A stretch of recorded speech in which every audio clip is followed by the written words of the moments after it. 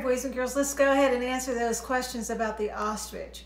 How heavy can they be? They can actually gain a weight up to 300 pounds. That's way more than the average man. So that's a pretty hefty weight. The second question was, what do we call the baby ostriches? They are called chicks. And for the third question, what is their job in nature? They are seed dispersers. That means seeds get caught up in their feet, and as they run and travel from place to place, those seeds drop out without them even knowing that they've had, it, had those seeds in their feet, and those seeds get to sprout in different areas. So new plants grow in new areas. God has designed that so that the ostrich will be seed dispersers, even though they don't even know it that they are doing good for us. Now, boys and girls, we're going to go from our nature study into our study of God's Word. Are you ready to power up those minds? Well, boys and girls, we have two really interesting lessons today.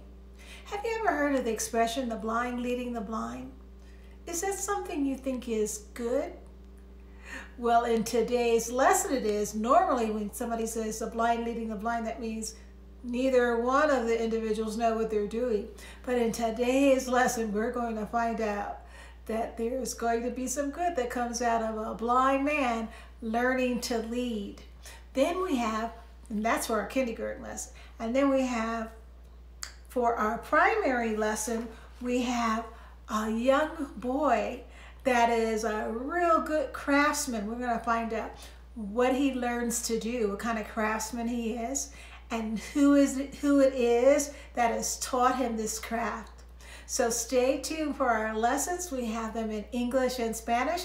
We have our test your knowledge in English for both primary and kindergarten groups. And we also have some songs today. So I hope that you will invite a friend as we power up our minds to learn about God's Word. See you in a few minutes.